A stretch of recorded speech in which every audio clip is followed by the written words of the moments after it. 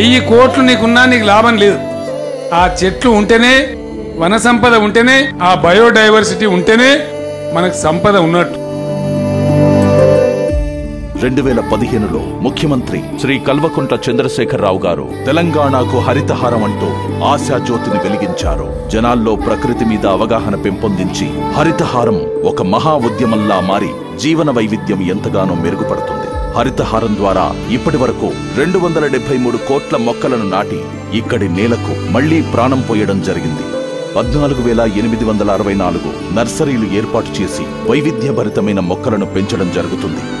విశాలమైన ప్రాంతాలలో పంతొమ్మిది వేల నాలుగు వందల డెబ్బై రెండు పల్లె ప్రకృతి వనాలు పెంచారు. రెండు వేల పద్దెనిమిది పంచాయతీరాజ్ చట్టం ద్వారా గ్రామాల్లో చెట్ల పెంపకం మరియు సంరక్షణ తప్పనిసరి చేసింది. రాష్ట్రమంతటా ఒక లక్ష ఆరు వందల తొంభై ఒక్క కిలోమీటర్ల మేర రహదారి వనాలు అభివృద్ధి చేసి తెలంగాణ రోడ్లను మంత్రముగ్ధుల్ని చేసే గ్రీన్ కారిడార్లుగా మార్చి కొత్త రూపాన్ని తీసుకొచ్చాయి.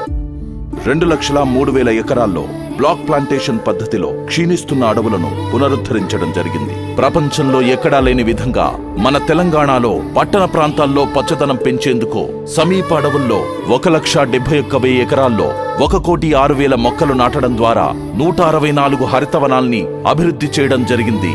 అందులో డెబ్బై ఐదు వేల ఏడు వందల నలభై ఎకరాల విస్తీర్ణంలో నూట తొమ్మిది అందమైన అర్బన్ ఫారెస్ట్